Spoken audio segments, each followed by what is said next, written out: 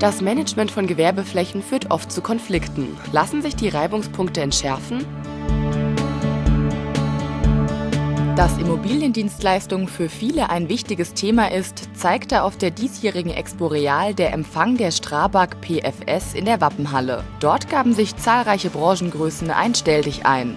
Die Gelegenheit nachzufragen, ist die Dreiteilung in Facility, Property und Asset Management der richtige Weg? Wir machen das äh, klassisch, so wie Sie gesagt haben, in dieser, in dieser Abbildung, also das Asset Management, dann dazwischen das Property Management und das Facility Management, äh, wobei für uns im Property Management sehr wichtig ist das äh, kaufmännische, kaufmännische Facility Management. Das ist doch ein entscheidender Bestandteil und das ist eine sehr, sehr wichtige Basis auch für unsere Arbeit als Asset Manager. Also wir können mit dieser Dreiteilung gerade im Property Management, auch mit diesem kaufmännischen Schwerpunkt sehr gut leben. Zufrieden zeigt sich auch Tanja Severin von der Siemens Real Estate.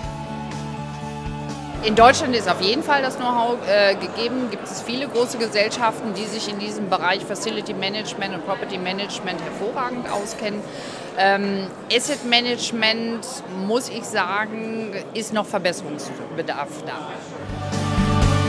Trotzdem kommt es immer wieder zu Reibungsverlusten. Warum, sagt uns Dirk Brandt.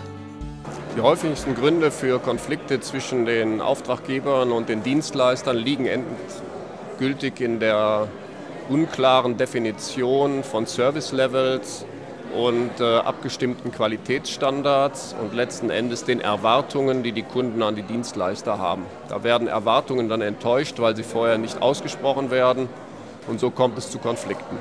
Sicherlich würde das Verhältnis deutlich partnerschaftlicher werden, wenn man mehr Energie am Anfang in die Beauftragung und in die Fragestellung stecken würde, was erwarte ich und was bestelle ich von meinen Dienstleistern.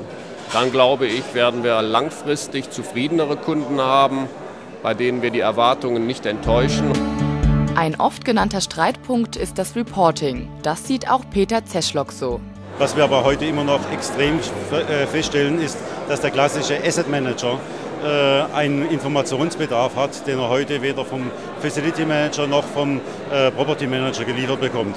Wir erleben heute sehr oft eher einen Datenfriedhof, da werden viel zu viele Informationen geliefert und jeder sagt, ich habe meinen Job gemacht und wir sagen, nee, die richtigen Informationen würden uns auf den Bruchteil reichen und wirklich aus Sicht des Asset Managers gesehen viel exakter zu bestellen, was er braucht. Der Markt hat sich an die Dreiteilung in Facility, Property und Asset Management gewöhnt. Aber einige halten das für zu viel des Guten.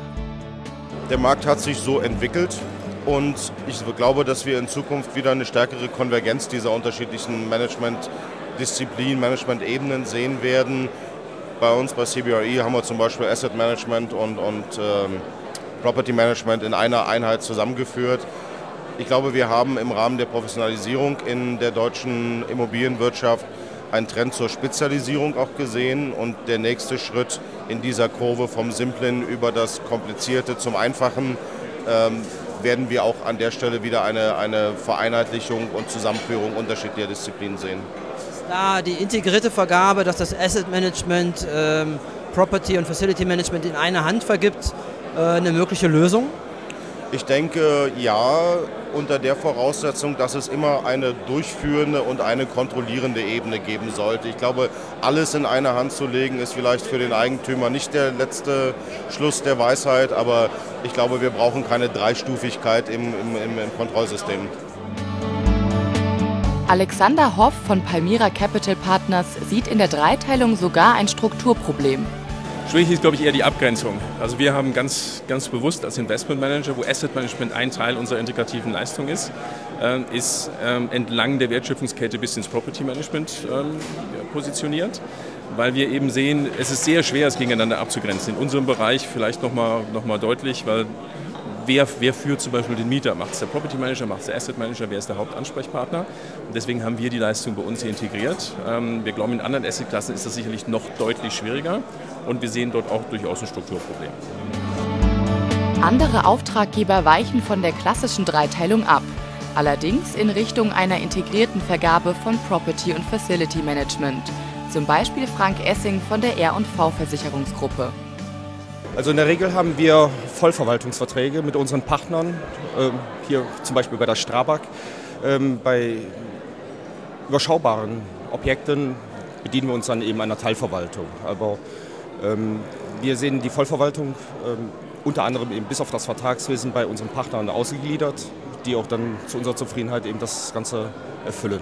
Alles das, was der Partner zu unserer Zufriedenheit eben abdeckt, kommt auch dem Mieter unterm Strich dann zugute, weil letztendlich der Mietvertrag ist ausschlaggebend.